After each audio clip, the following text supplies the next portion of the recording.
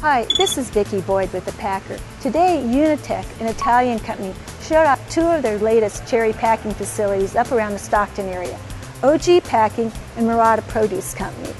Each one has multiple lines that are using a computerized system that can not only sort and size the cherries, but can also grade for external and internal defects. The Morada Produce, they're running 40 lines. Each line can do 30 cups per second, so they have a capacity of up to 1,200 cherries per second.